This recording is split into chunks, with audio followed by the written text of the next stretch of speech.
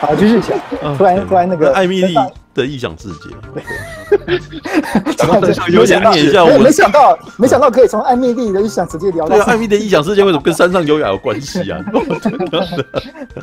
好，我看一下，来，我喜欢找寻没人在意的事情，我讨厌老电影里面那些开车从不看路的人。艾米丽，哦，奥黛丽朵度饰演，总是天马行空，想着许多事。作为一个知呃咖啡馆的女士，她喜欢收集石头，没事就爱掏掏口袋深处看看有什么惊喜。有天，他在自己五楼小公寓的浴室发现一个藏起来的小宝盒，历经一番波折，终于物归原主。看着陷入童年回忆、开心落泪的老先生，艾米丽意识到自己也许能够帮助生活周遭那些平凡的人们，解决他们生命中的小缺憾，其中包含遭遇婚变的公寓管理员、孤僻的老画家、总是被欺负的小店员、疑神疑鬼的香烟摊太太。啊，以及艾米丽那个丧妻后沉溺哀伤的老爸。不过艾米丽自己的幸福呢？OK，OK，好，那个陈佑还没看过嘛？但我相信，我相信大侠应该看过。我看过。对，这部其实算是在我当年大学时代的那个电影名作，你知道吗？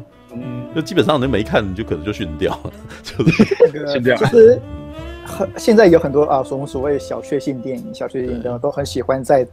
就就是自己的那种这种小确幸电影里面加一些奇幻的元素，嗯，明明就哎就是一件很单纯的生活故事或者爱情故事，哎，就会突然可能天边有一个什么气球啊，或者有什么可爱动画飞起来啊，嗯嗯嗯，九成应该都是被这部片影响的，因为这部片其实就是把一个哦很可爱的故事，可以用非常非常奇幻奥妙的说法说出来，对。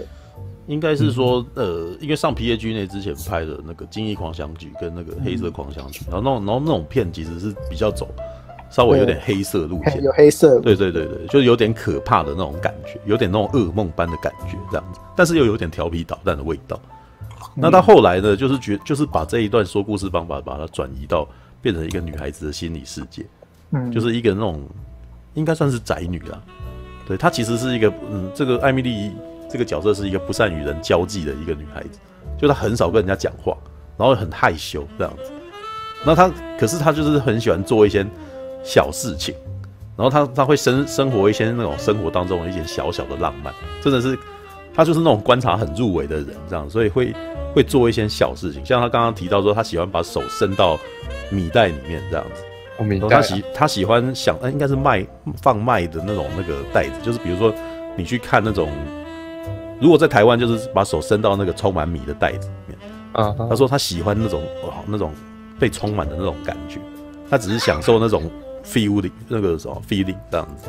然后他去看电，他这这部片都讲他讲那个让我印象最深刻的说，他不喜欢看电影，因为他看电影永远都在观察一些，在观察一些很小的事情，然后他会发现一些那种穿帮啊、出戏啊。然后说，哎，他觉得那个看电影的里面。他讨厌看到电影里面的人开车，因为电影里面的人开车永远都没有在看路。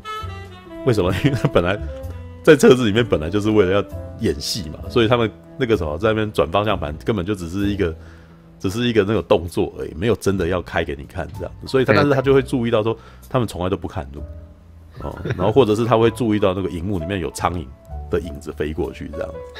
对，真的是这样子。但是这种人其实真的很难看电影，你知道吗？我常常拿这个，我常常拿这个案例来当那种，就是当你遇到这种情况的时候，其实代表观众就是出戏，他根本没办法好好的欣赏这个这个戏这样子，对啊，然后嗯，但是其实我觉得啊，那这部片其实拍的非常漂亮，就是画面很精致，你知道吗？就是就是把法国把那种法国巴黎的那种那个什么很的唯美的那种感觉把它拍出来，对，可是很奇妙的这种配色，它那种比较偏绿偏黄的配色啊。在后来的那个魔戒，你知道也有用，知道哦，对，魔戒那个什么里面有一幕，其实那个彼得杰克森吧，他就是就是讲说那一群哈比人，然后到跃马旅店，知道就是逃到那个刚到人类的那个酒酒店的时候，然后那颜色也是偏黄这样子。哎哎，这部片跟那个《无间道》哪一部比较早？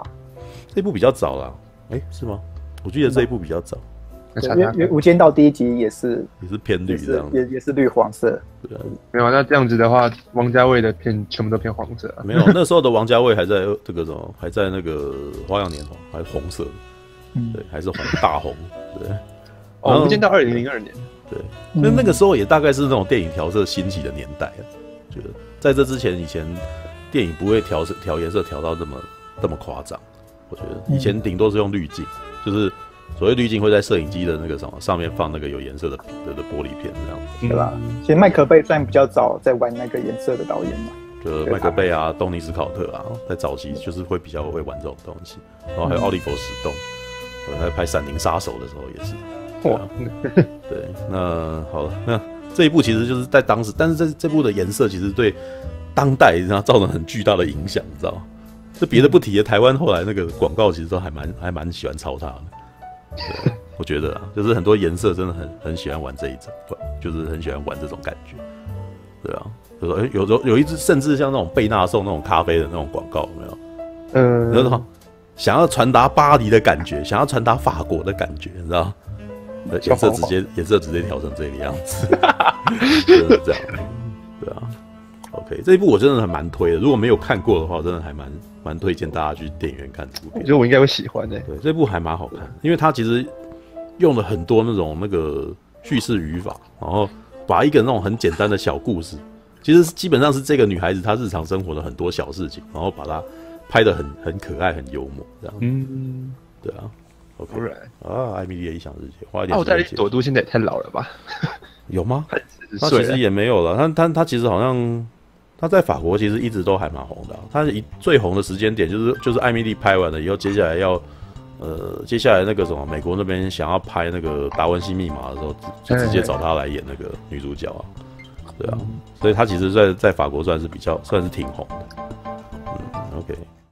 其实，其实我还蛮喜欢艾米丽的异想世界，它那个新的那个海报的。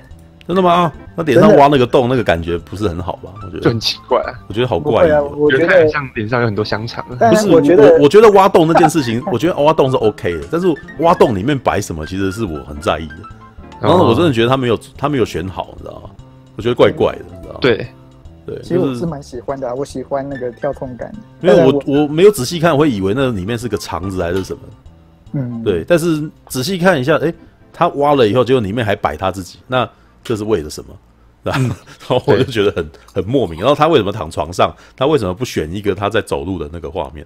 可能会好一点，就构图上面可能会比较好一点。不然其他的部分我觉得都没什么问题。但是就是挖洞以后，然后里面摆那个东西，让我非常的疑惑。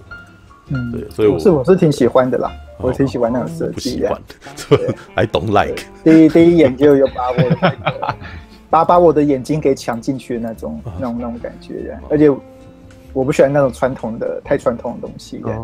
对，呃，我不晓得，我真的是，我只是只是当代觉得，就是当一下子给我看，我一一眼看下去，我觉得美或不美，然后当下觉得很丑，就是 所以这没办法。我真是刚一看到就觉得这人脸上怎么长了。长了一个肿瘤啊，这样子，对，就是里面一看会觉得好像脸上有个洞，里面有肠子之类，就是我那个当下就是那种感觉。认真一看才哦，认真一看原来是被子啊，对啊，对。哎哎，感谢您的收看，喜欢的话欢迎订阅频道哦。